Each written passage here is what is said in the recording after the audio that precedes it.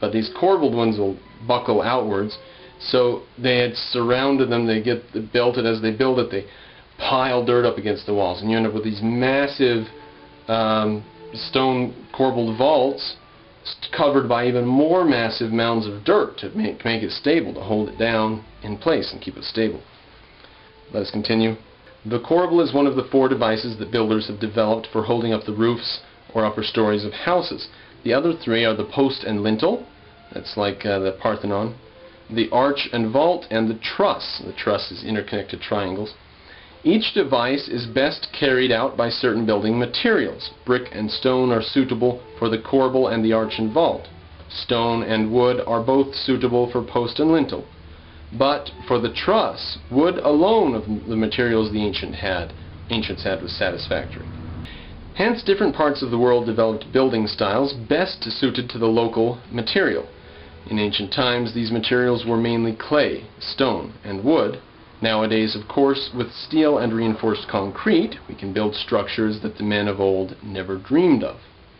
Mesopotamia, having plenty of clay but no stone or wood to speak of, early favored the corbel and the arch and vault.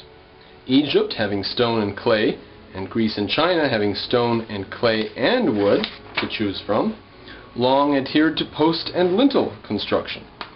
It remained for wood-rich Europe to develop the truss. Now we skip quite a bit down. At Giza, Khafra constructed the Sphinx, yes, a colossal lion with Khafra's own head on its shoulders, partly covered from an outcrop and partly built up of limestone blocks. Pardon me. Partly carved from an outcrop and partly built up of limestone blocks. The rest of the outcrop was quarried away for pyramid stones, so that the Sphinx lies in a depression formed by this quarry. A Muslim fanatic battered off the nose of the Sphinx about the year 1400. Now I thought that I had heard that Napoleon's troops had shot that nose off but maybe not. Maybe Napoleon's troops were quite respectful of the stuff. Besides the Sphinx, Khafra built a pyramid slightly smaller than Khufu's, but it looks even taller than the Great Pyramid because it stands upon higher ground. This pyramid has none of the complicated interior corridors and chambers of the Great Pyramid, only a single underground burial chamber with passages leading to it. There are several ideas about why the Great Pyramid is so complex inside. They think maybe, uh, for example, there were ch changes in plans. Part of the reason might have been to confuse people who were coming in to rob the tomb later. Uh, some people did some parts of it, and then other people did other parts of the construction, and no, probably no one person was over the whole thing, but maybe so. You know, all the all the special interior passages and stuff. They used to go to great lengths to try to prevent the the robbery of these things. The last Egyptian pyramids were built about 1600 BC. Some think the very last one was made by Amose the first, A-H-M-O-S-E, but uh, by this time about 70 pyramids dotted the land of Kem. Most of the later ones, however, were filled with rubble instead of good cut stone. Hence they eroded away to mere mounds after subsequent builders stole their limestone facings. Now some of the interiors of some of the some of the pyramids are like that. A guy in the late 1800s, I think, 1880s, I think, drilled into the side of one of the pyramids and blew it out with dynamite. Big gaping hole, well, very small in the side of this gargantuan pyramid, but there's this big old hole to see what the inside was looking at. And they found out that there's much smaller rock and debris and stuff inside, but that's not necessarily true of every single one of the pyramids. But generally, you would think that they wouldn't cut good solid cuts of stone and just lay them all inside of this massive thing. I mean, that's just way more work than would be necessary. You might use good cut stone in the areas where you're going to go in and bore passages later and stuff, you know. But let's continue. Now, there's a place called Kush, Kushite kings, um, and that's where Ethiopia is today. The Kushite kings, who copied Egyptian culture and customs, had already imitated the custom of burying kings under pyramids. Back in the Sudan, they continued to build small pyramids for themselves and their queens, clear down to 350 AD, when the Abyssinians overthrew the Kushite kingdom. Remains of 60-odd Kushite pyramids still exist near the ancient Kushite capital of Napata and Meroe. Robbers broke into all the Egyptian pyramids despite the granite plugs, false passages, and other elaborate precautions of the builders. The Great Pyramid held out until the Caliph al-Ma'mun in the uh, 9th century AD got past the granite plugs by boring through the softer limestone around them. Uh, caring not for relics of the days of ignorance, as Muslims call the ages before Muhammad, he smashed the lid of the sarcophagus and tore Khufu's mummy to bits for the gold that decked it. However, some archaeologists think this pyramid had been robbed long before, about the 23rd century BC, and that the mummy that fell victim to Al-Ma'mun's greed was not Khufu's, but that of a later intruder. I guess you'd have to know more about the story to see whether that's plausible, because that sounds completely implausible.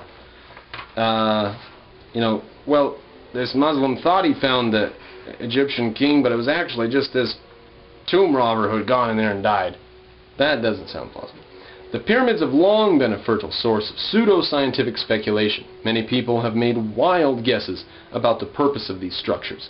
They were ostentatious displays of royal power, vaults wherein the sages of old stored their archives, Joseph's, Joseph's granaries against the seven lean years, models of Noah's Ark, astronomical observatories, phallic symbols, of course, Masonic halls, and standards of measurement. These notions can all be easily disposed of. For instance, the passages inside the pyramids were blocked up as soon as the kings were laid to rest within, so they could not have been used for granaries, or stargazing, or Masonic meetings. Modern archaeology agrees with Herodotus, these buildings were tombs, pure and simple. Some people say they were built by aliens and stuff. I asked a 10-year-old kid the other day, my nephew, I said, I said, where did we all come from? You know, you go back earlier and earlier, there's apes and stuff, and eventually, when was there nothing and what started then? He said, well, somebody had to come here and stop. And he stopped in the middle of his sentence. Because he realized, well, if somebody came here to start humans, who was that? And the kid's completely um, innocent of religious indoctrination, fortunately. Some people think that the ancient Egyptians must have used powered machinery like ours to build the pyramids, or even that they called upon occult powers whose secret has been lost. As the modern Egyptian poet Hafiz Ibrahim put it, For they had crafts beyond our ken, and sciences that lesser men lack wit to grasp with dexterous hand, to rich invention wed, they planned. Fair idols men might be forgiven for worshipping in hope of heaven. But it's not really so romantic as all that, is it? It's just big piles of stone that were sturdy. It's a good way to build something that's sturdy and tall. Herodotus is responsible for this picture of pyramids being built by modern construction machinery. He wrote, the pyramid was built in steps. After laying the stones for the base, they raised the remaining stones to their places by means of machines, formed of short wooden planks. The first machine raised them from the ground to the top of the first step. On this there was another machine which received the stone, and upon its arrival, and conveyed it to the second step, whence a third machine advanced it still higher. Now, these machines have a wooden block I've seen some of the ways they do it, and they would rock it back and forth and put it, when it rocks up this way, put a, a thing underneath it. Prop it up, and then have a bunch of men pry up on this side and put a, another board under that side. And then up, up, up, up, up, just one board under each side. Thing is, it very quickly gets precarious, and it's teetering back and forth on these, these huge, huge, huge tons and tons of, of stone teetering on piles of wooden planks. Not likely. Uh, so that's finished with Herodotus' quote. As nobody has found any trace in Egyptian art, architecture, or literature of anything like these wooden hoisting machines, it is likely that they were merely the fantasy of some guide or priest recounted to the eminent Greek tourist in the hope of extracting extra obolus from him.